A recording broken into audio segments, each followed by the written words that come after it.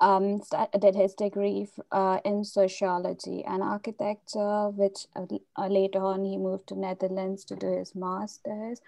And he worked for um, um, in Rotterdam, and uh, now I'll pass on to Wing to let us know more. Okay, uh, thank you, Diksha, for arranging this and also to having us uh, for having us today to share our work. Um, a brief introduction. Um, we're an international office, and today the work we're going to share with you uh, mostly done in our Singapore and Shanghai studios. Uh, our work scope is quite diverse, uh, from TOD mixed-use projects to headquarter offices to hospitality to cultural projects. Um, today's topic, um, as it was it was given to us is ecology of communities. It's kind of abstract, so um, we try to understand what it means um, to us. And we find this very good quote actually from Diksha herself in our email exchange. Um, so she say, ecology of communities, which is about bringing people from different spheres of life, backgrounds, and environments, bring them together. So what does it mean for us as, as Spark, as an office? Um, perhaps we can start with our quite famous project, quite well known in, in Singapore and also in Southeast Asia, the Clarke uh, drinking place, basically. So um, it's a renovation project, regeneration of an old pier uh, next to the Singapore River. So it's a nice design. We put a nice canopy on top and becomes a very popular icon and a, place to be. So this canopy serves as a climatic control device and also with nice landscape, nice water features uh, and also nice engineering uh, to study the aerodynamics, how to move the air through the space to cool down the space. So within, after we do all this, we do get a space that is maybe five, four degrees cooler than the outside. Um, but uh, recently we find out in the office, what we talk about most are not those architectural objects or, or technologies behind the project. It's more about how this place becomes a container of life and how people come together and uh, to meet people. Uh, really, we want this place, and it is now, it is true. I mean, not this year, but let's say before the COVID, it's really a place to bring different people together. So this, this is how we look at this um, topic of bringing different people together. So today we're going to share with you uh, some of the projects we did recently for the past maybe four or five years uh, with uh, several strategies. We can call it the Sparks catalog of, um, of bringing people together. So let's start with the first one. We call it, let's say, we welcome you with our open arms.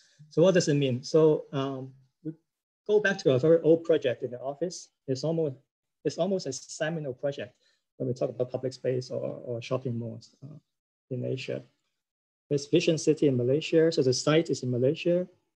There's a semi-done mall when we approach it. So it's basically pretty en enclosed, um, not having much interaction with the, with the outside. So the first thing we did is we think we should break it. So we say break the box. So really from this very um, opaque facade, we make a big crack here. So to bring people in right to the heart. So from this to this.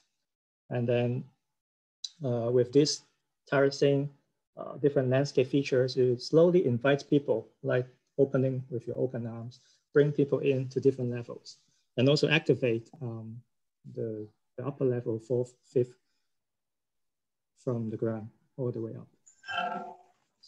So perhaps this is our first approach, how we can create a community by welcoming you into our building instead of closing up our buildings. The second project is a build project, a similar approach uh, with a different site context. Uh, it's a triangular plot. If you look at it from far, uh, it's pretty typical. There's a tower sitting on top of a podium. Uh, but if you look at it closely, you can see that it is a very porous ground plane. From different directions, we study the connections. And then with these connections, uh, they are connected to different urban fabrics. We bring people in all the way to the inside. By doing that, we break up the mall and then we basically fold it inside out. So the atrium uh, it's not enclosed, it's actually open, reflect to the outside. Uh, this is not only done in plan and also in section. You can see the atrium is open and then this on multiple level, you have different interfaces and they're all porous. So from the side, you can see not a solid facade, but a very porous facade. You can see the activities inside. And on the ground plane, basically is also porous. You can infiltrate in without much uh, barriers. And then this not only happens on the ground, also on the second and third level. And then inside, we have this atrium, just like we say, it unfolds out to you. And then when you move up the escalator, you see this iconic, uh, let's say a center, centerpiece to bring you together to create this community. Then the third project about this welcoming you uh, in the city is a creative park we're working on now uh, this year in Shanghai. This is an existing condition, as you can see. Uh, it's a pretty enclosed street corner. What we do again, you, we try to transform it. We try to open it up. Uh, the Nolli plan, uh, drawn by Nolli of uh, the plan of Rome is probably the most uh, shared or referred plan in our office. It is drawn not only to show the building facade, but also to show you what's inside which space within the buildings that is actually public you can go in. So with that concept, um, how you can infiltrate into different buildings, we open up this creative park, we create this network uh, connected to the existing urban fabric, open the whole creative park up to try to create a new creative community. So first we open up different entrances um, for the pedestrian at the important corners or a new entrance portal for, for the cars. And then this will be in the future, maybe we'll look like this. And then also we create new back streets, semi-open streets so they can blur the boundary between the in and the out. And then this notion carry on to the second and so, uh, to the second level, six, to the all six, all the six levels of the building. And then when you go in from one of these entrances, you're welcome to go up and then to share your ideas with other creative people. So this is our first strategy, which is call it, we welcome you with open arms. Uh, pretty city urban context. And um, the next strategy we want to introduce to you is we do respect context, uh, not only in cities, but also in more rural or suburban areas. Uh, we'll bring you to Malaysia. If you understand, or if you have any uh, encounter with the Southeast Asia low dense uh, residential development, you always see this kind of floor plans, um, endless rows and rows of housing. And then basically when you're at point A, there's no different from when you're at point B because what you see is the same. We try to not to use this approach to design this uh, new suburban residential plot.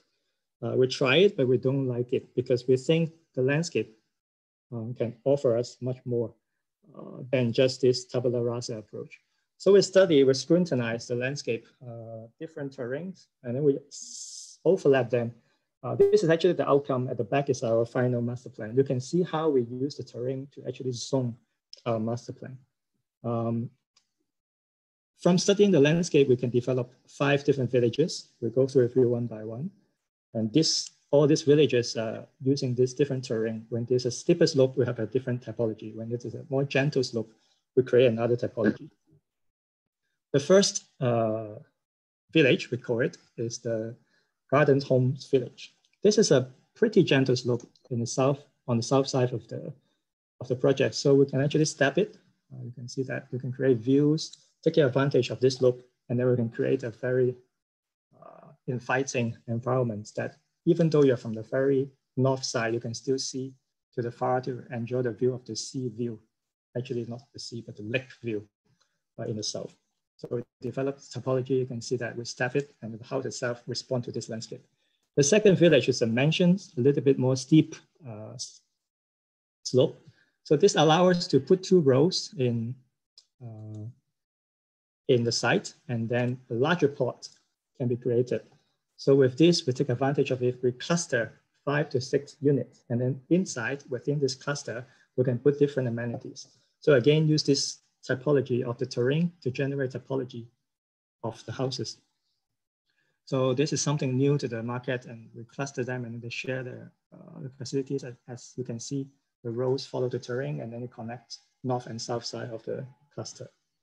The next village, um, this is a very mixed use uh, residential project. So just now we talked about the garden homes and the mansions. Later we'll talk about the more affordable uh, terrace housing. And on the plateau, a more flat area on the high ground, uh, there are more, let's say, uh, high-end uh, bungalows or villas. Uh, usually they are, again, they were arranged in linear uh, manner, but what we try to do is we create a center garden for each of the cluster. Uh, by doing that, each of the houses will have two facing, one facing facing the central garden, and the other facing facing outside the road. And then with this arrangement, there is a car-free zone in the middle. People can share uh, their gardening or their lives within this green hut. So again, we create this typology following the topography, and then you can see the dual facing of each of the bungalows or each of the villas with the road and with the garden. The next village we create with uh, the study of the terrain is this uh, more affordable terrace houses. Uh, more gentle slope allow us to put these row houses. We don't have enough space to create a garden, but then we can have linear gardens. So this dual facing this time becomes one side facing the road in the south, and in the north we face this linear backling gardens, which tie all the communities together. And then the last village we create by studying the terrain is the low-rise apartment. It's a collective housing. Uh, we discovered there are actually two valleys uh, in the site. With these two valleys, we can take advantage of it, uh, save our cost on excavation. We can provide the parking uh, within this valley and on top, we can build up our apartments. Also by doing this, we can create this multi, multiple ground uh, scenario so that um, when you're on top, you can actually see through and go and have a very porous uh, L1 or L2 and actually there's the B1 and B2 for the car park. So you can create something like this. So you have the housing um, surrounding a valley, a natural valley, and then we turn it into a landscape and also car parking. So with this, we can see um, how we create communities uh, by respecting the context, in this case, the geographical context.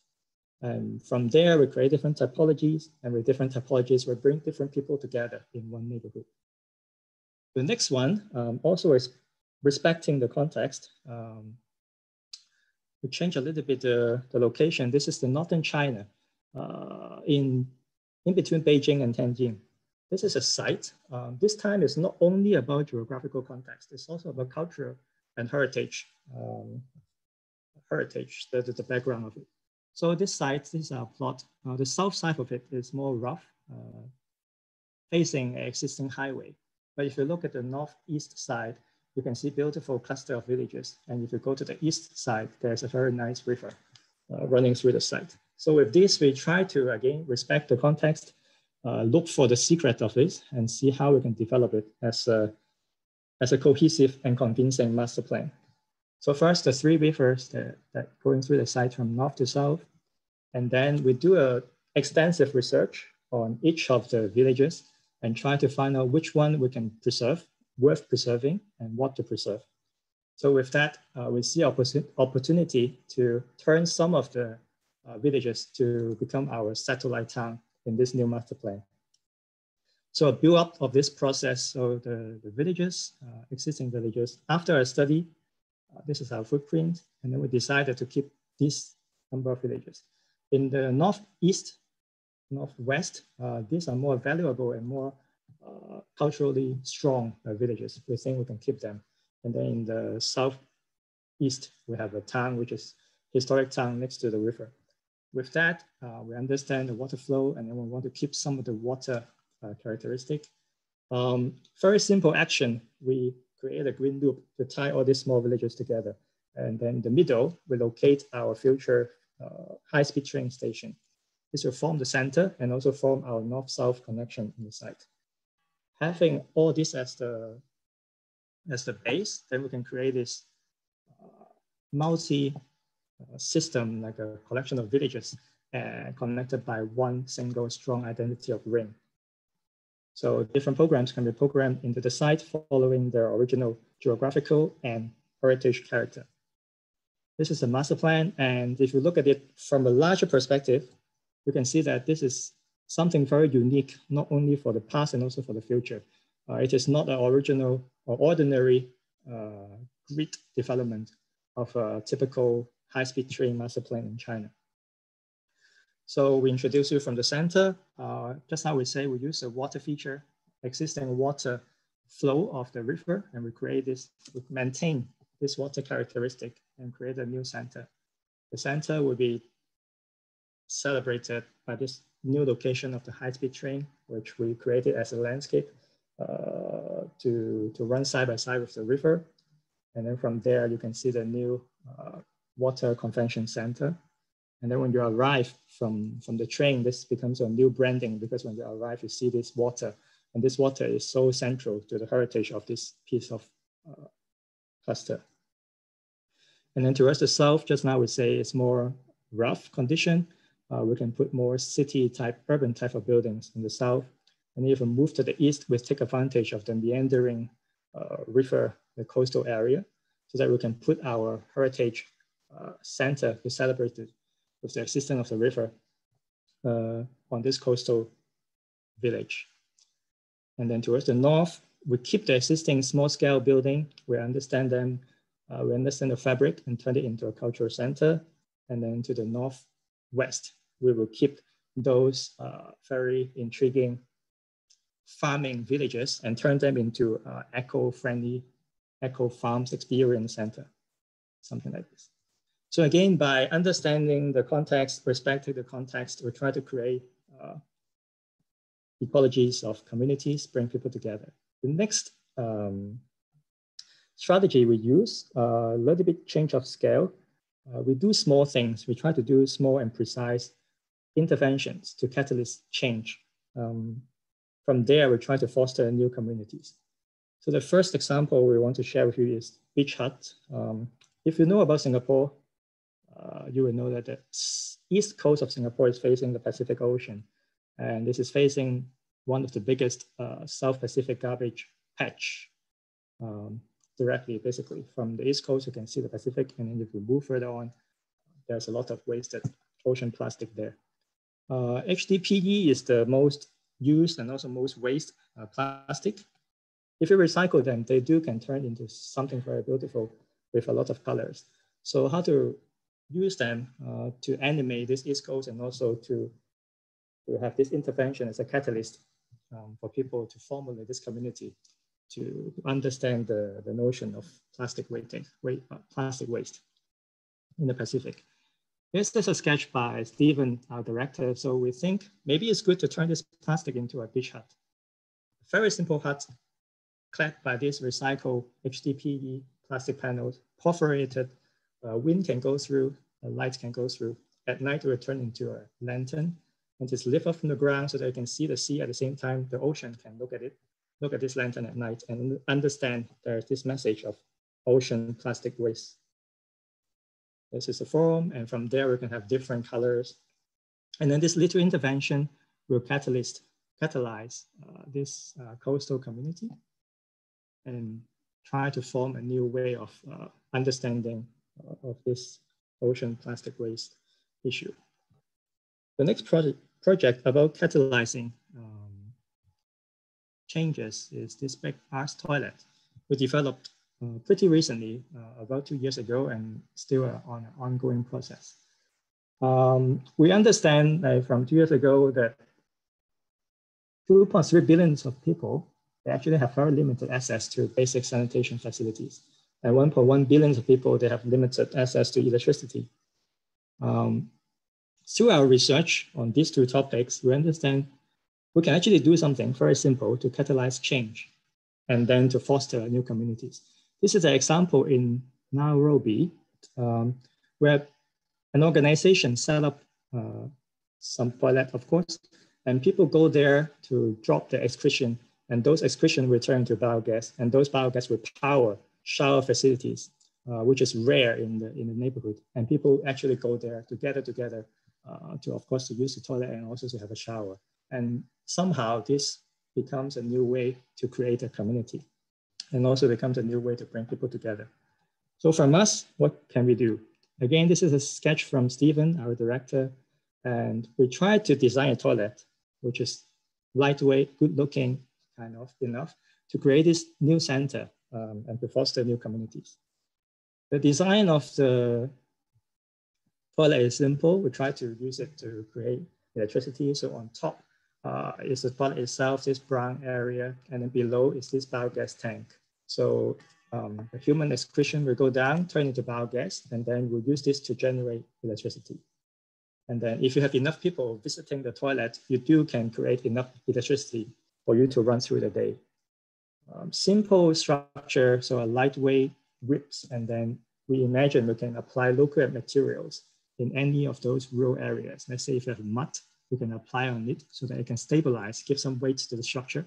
Uh, you will sit there on the ground and then under it, you can transform, transfer uh, your excretion to the biotank below. So simple method, lightweight uh,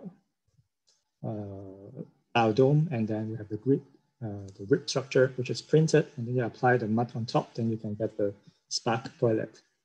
With this um, design, which is very responding to the context and also uh, very precise to the question, uh, we try to promote this and to foster new communities uh, in different rural areas in India. This is an ongoing discussion. So far, uh, we are discussing with different partners to see how we can prototype this project. Then the next strategy we try to bring people together is to mix different programs uh, vigorously. And also we call it, we mix it 24 seven, which means we just keep running all week and all day long. Uh, the project we want to illustrate here is the Guangzhou Shipyard Regeneration Project. Um, the site is in the west of Guangzhou. It's a very prominent site. Um, it is a site where ships has been built there for more than 100 years. And the scale is enormous. You can see here the slipway itself is about uh, 200 to 300 meters long. Uh, of course, it's a quite complex uh, master plan project. We have been working on it more, for more than a year. Uh, it's still ongoing. Um, we have to deal with all the zoning, the pedestrian issues, the car traffic, uh, the vertical circulation of the people, different layering of different plots, uh, different layering of different plots going up and also going down underground, and also developing different types of connections uh, of different plots, the north and the south, in total, it's a 1.3 millions of square meter to be planned. Uh, we have to study the road section. We have to understand how to arrange the cars so that we can give more space for the people, uh, have pedestrianized streets. All these uh, end up with different typologies of buildings, uh, towers, streets, uh, connections, all sorts. But those, again, those are not our main concern, just like the Clarke project. Uh, we are more interested in how this space or place can contain life and can bring people together from all walks of life. So um, we have this concept from the very beginning of the project. We try to turn this into a destination, a destination which is not only for a particular group of people, not only for commercial people or not only for residential people, it's for everyone in the city. And also um, it's a destination which remember the history. So we try to turn the history into something uh, which can remind you of the past and also can organize the mixed use of the program. So how to do it? How to do this? Um, we create a loop uh, in the master plan, and we try to organize different functions uh, of the day and also of the week along this loop. The center of the site is actually a metro interchange. Two metros will, will stop there. And then from there, we create our first center. And then from this center, we arrange all the functions in the form of a loop. All the programs will be arranged there, people go there, will visit it, and then every moment they see that we will remind them of the history. At the same time, they're interconnected with different programs next to each other.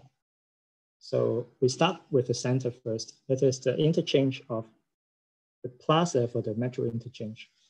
Um, each part of the project will start from the history, from the memory. So um, the form of this shape of the, of the plaza is being inspired by the shipbuilding industry. So this boat form, uh, we can imagine it can be also turned into something quite significant in an urban context. So we can turn this boat form sitting in a dry dock into a huge uh, metro plaza. So people come out, imagine this is a Sunday or weekend uh, morning that you have your coffee there while you have a lot of public activities functioning. You have different levels of visual uh, connections with the city. And then um, at the same time, it serves the function of uh, city connection. It serves the function of a city uh, living room, where the form of it, the stepping of it, and the And the idea behind this shape reminds you of the old dry dock for shipbuilding. At the same time, of course, learning from Clarke just now we, we talk about this can also be a climatic control and also sustainable canopy. And with all that, it's also a fun place to be, so you can see this from a different perspective on the zip line. And then with all these serving the public, general public, for the office goers, this is also a very important interchange uh, traffic spot. And then at night, it turned into a drinking place for people to enjoy the landscape and also enjoy the public space. Another part, a big part of the, of the project is about the huge fabrication uh, spaces left over from the shipbuilding industry. So how to transform this and make this part of the new city? Um, the, the use has changed. Previously, they are big open shed. Now we have to put in new towers for the new function. So this is our approach. We can turn them, um, uh, change them, change the scale, keep some old elements, and then add them to the new towers. So from this, we can imagine we can create what we call heritage portal, uh, which we can imagine during the weekend, uh, you can have your art jam in there. When the office is not working, then the street can be turned into pedestrianized space, and then you have this huge art plaza for people to gather. And this is the interior. For the exterior, we can also imagine uh, how to mix this old heritage of the site, mix it with the old heritage of the city, which is this kind of South China type of buildings. So from there, we can create new exciting uh, event streets.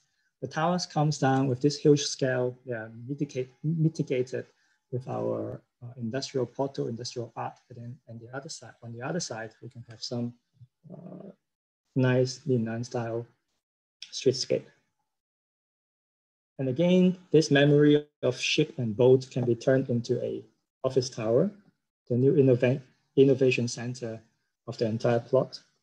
From there, um, you can create the skyline, uh, which is needed uh, to highlight the future, to highlight the, the future program of the city. At the same time, you can also produce specific triple height uh, sky garden for you to look back to the history, which is the dry dock we mentioned and also the slipway we mentioned. So in the dry dock, we can use this boat uh, memory to create a new public space for the families so just now we have the office people and now we have another type of people coming into the, the story, which is the education of the future, education of the families. They can bring kids together, uh, together here to learn about the history. And then on the slipway, we can create some new uh, buildings, uh, also using the idea of ship making and also form a new waterfront track uh, for the people in the city. So if we combine all those together, um, we go back to what we say just now, it's a very vigorous mixed use project, 24-7, uh, old and new, different types of people. We bring all those together and contain here uh, with this physical construct, just like what we say in Clarke. It's a very complex logic behind, but at the same time, what is important to us is to how to turn this place into a container of life and bring different people together. The last two, the last two um, uh, strategy, let's say, is about uh, people of different age. So we design, uh, in the past few years, we design for the aged people. We also design for the young people and they have different needs. And the important thing is to understand uh, their needs. The next project is an experimental project. It's a research project we did in the office. It's called Home Farm. So in the city center of Singapore, um, which is situated. Uh, it all started from a piece of news that we actually understand now. Uh, diapers is actually outselling the baby diapers. And then, of course, this very acute issue of the aging population, 20% of the population of Japan is over 65. And actually in Singapore, we're approaching the same level. So from there, we think, should we create a new types of retirement housing typology uh, instead of having everyone retiring in a tower, which is pretty segregating. So this would be an open area in a garden. Uh, you can see your friends. We have very good uh, visual connections in this place. So we try to understand what uh, the elderly, the aged people need. You basically need to be included You don't want to be alone. You don't want to be segregated. Uh, it is not an issue of one section of the population. It's about, uh, it's a cross uh, section issue. You want all kinds of support that you can get. You want your dignity, you want your identity. You don't want to be secluded from the main uh, society. So with all that uh, on the podium, we actually have different functions. We have a produce market, we have actually a kindergarten, we have a library, all kinds of facilities. And on top, we will put uh, different units, uh, not only those units for the elderly, but also units for other uh, demography, the younger people for their smaller apartments or the multi-generation people. So it's a mixture of residents. We stack them together. So just on the podium at the bottom with all kinds of facilities and services. On top are those um, apartments that we mentioned. And then we stack them in such a way that um, they are at a slightly inclined angle so that the angle can provide a good surface for some urban farming. Very simple aquaponic farming. So the fish tank can be on top and then provide the nutrients. The nutrients flow naturally via gravity. And then you can grow plants on this inclined facade. So with that, you can imagine you're now living in a uh, living garden, a productive garden. You can see your neighbor, you do feel the sense of community and you do feel the sense of uh, purpose. And nowadays, the elderly people, they're also usually active. So this is the perfect environment for them to have their retirement life. At the same time, it is a place for them to meet different types of people. The younger people coming to see the farm, the younger people living above them or below them. And at the same time, by doing this, we can also uh, fulfill some of their needs, maybe some kind of financial needs for their, for their rent, for their medical uh, bills by working part-time in this productive farm. So altogether, we try to create these new typologies of retirement housing. So the last one, last strategy, um, we talked about we design for the aged, now we design for the, for the youth as well. For the young people, it's a very different group of people and they have very different needs. Uh, they grow, they change uh, constantly. So the first project we want to share with you is the Somerset Youth Space. Um, Diksha know about Singapore, and this is this project is in uh, Orchard. Uh, it is the last piece of the puzzle of the future youth master plan in the Somerset area. So it's right in the center. Uh, currently, it's actually a car park, as you can see here, with a lot of greens. So we try to keep all those greens and transform the car park into a new youth plaza, a youth space. Um, it is, as we say, it is in the center as a, as a note of the future young people's uh, youth master plan. So when you arrive at our site, you're actually linked to all the uh, famous youth facilities in Singapore. The idea is very simple. As we say, we will try to grow and change together with the young people. So we took a very old concept uh, from the 60s, the Fun Palace by, by Cedric Price, uh, meaning we provide a very basic framework uh, to the site. And this framework allowed a lot of change and a, a lot of growth. A very simple system on the floor is a technical floor, uh, which provided all the basic needs for electricity, water, and so on. And then we have a frame. This frame will, will be able to host different boxes. Those boxes will provide different functionality. In between them, there are several uh, interlayer of facade and spaces uh, to, to provide uh, different needs for different events. So let's go through them. Um, the outer facade, the one facing Somerset Road, the main road, uh, can be changed constantly. It can be light boxes, vertical greens. It can be digital screens. It can also be a thematic installation during different festivals. The inner facade, which is the one we support, which will support the, the main event space, uh, can be light boxes again, vertical green if there's like no event, like a normal plaza usage. And then when there's an event, it can change into a screen and you can provide sound system. And then when there's other functions, you can turn it into a thematic installation. On the ground, we provide internet, water, electricity uh, for all kinds of functions. And then you can also plug in different food trucks and installations. So with this system, with this system of change and growth, we can host um, all sorts of programs and all sorts of sizes of programs. Um, so let's say this week you have a food festival, next week maybe you have a e-sport tournament, and then you have Chinese New Year celebration, and perhaps you have a Korean singer coming uh, to town. And of course, you can connect this uh, with your phone. There's outer interface. Now in the interface in the street, there's also a digital interface. And then for the inner event space, you can imagine uh, you can host a concert, as we mentioned just now, or you can have your favorite esports team coming to town to have their tournament.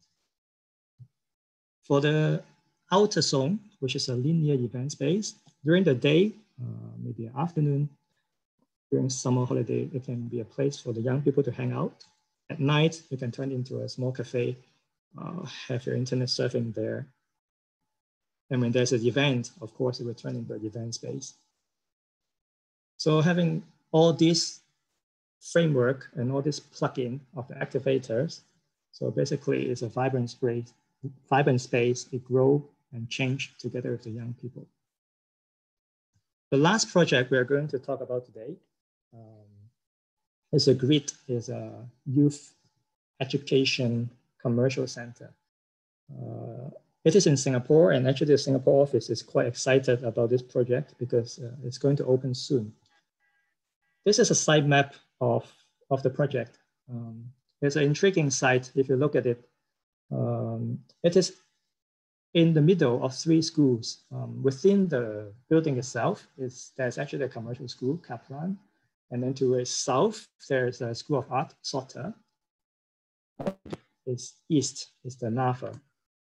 So three school seems to be a very vibrant and uh, happy or youthful district. But if you look at the current facade of the, of the site, you can see actually it's pretty solid uh, enclosed. You don't have the vibe of, of a young people uh, place.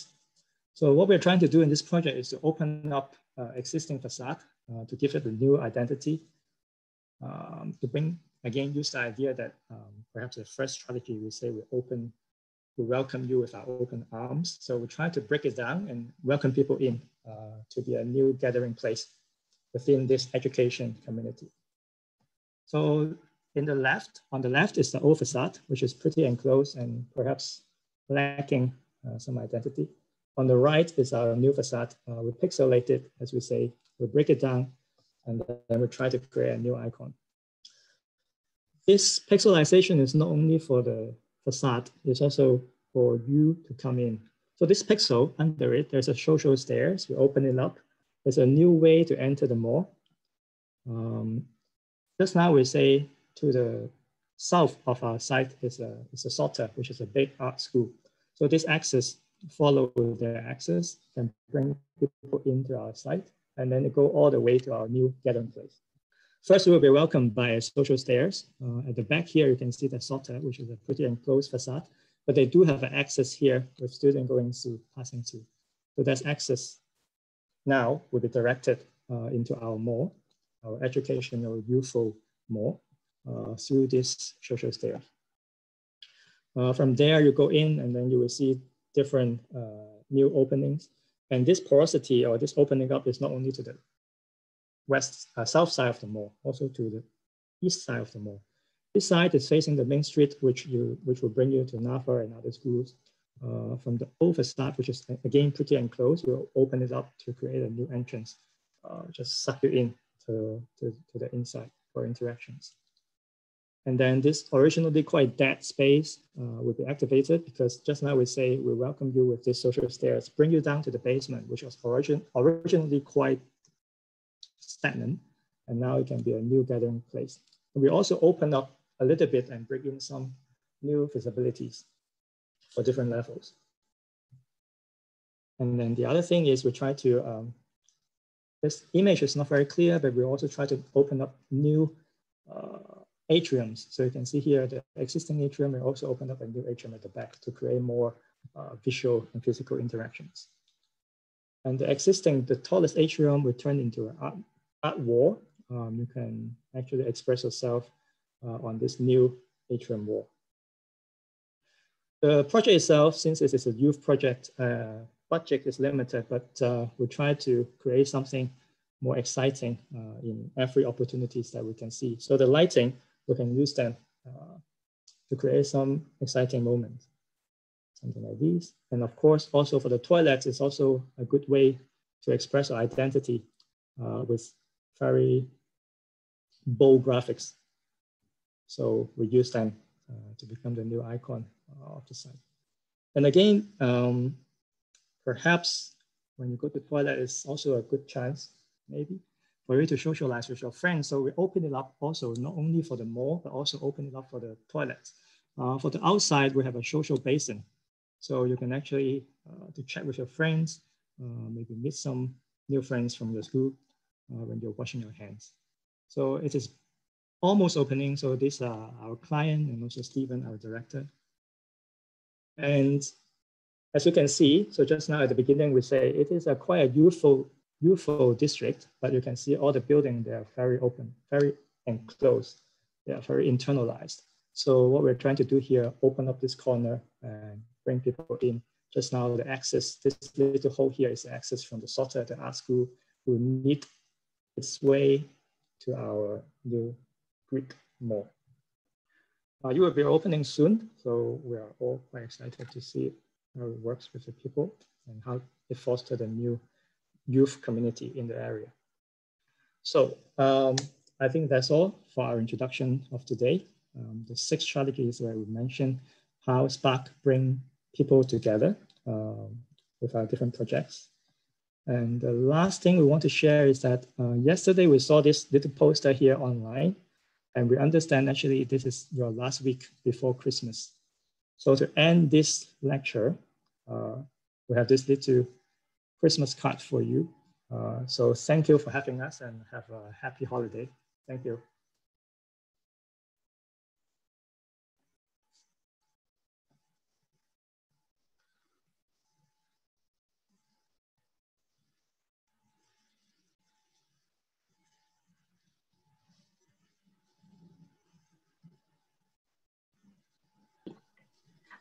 Thank you so much, Wing. That was so good. And thank you for the Christmas card. I love it. um, does anybody have any questions they'd like to ask? Um, we still have 15 minutes. Um, I have one quick question. Um, since you said a lot of your stuff's conceptual, um, how, how do you go about your business? Do you do you have clients approach you for most of your designs, or do you create a concept and propose it to a client? Um, I think uh, business uh, projects comes in many different ways. Sometimes, yes, a client comes and approaches us and asks us to do something for them. And sometimes, as you can see, some of the project we show today, they actually, they're actually no client, and then we just do them, and then um, we, we put them on different social media and start to stir a discussion and then we get some client from that process. So yeah, to answer the question, it just come many different ways, maybe from a friend or from, from an ex-colleague, it just come, yeah, hmm. so yeah.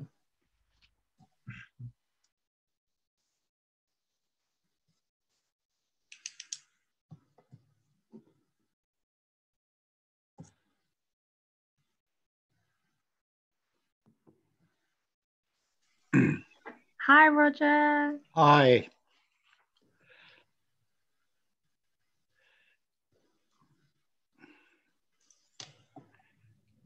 Um, hi, uh, I have a question. Do you uh, enter architecture competitions? Do you did you get any of your projects through a competition with your concepts, or something too far fetched? Uh, we do. We do enter architectural competitions. And in fact, some of the project we showed just now, uh, some are competition entries and some are competition entry uh, winners. Uh, so yes, we, we do do that. And uh, I think nowadays that's uh, entering competition is quite an important way to secure projects. Okay, thank you.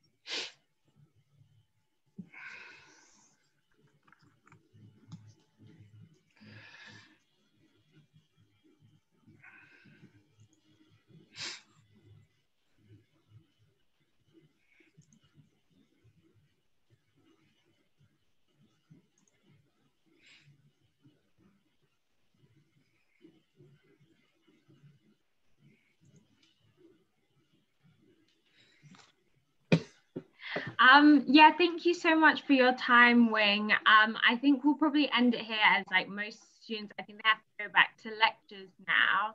Um, but yeah, it was such a great talk from you. Um, we really appreciate your time and you showing um, us all these amazing things.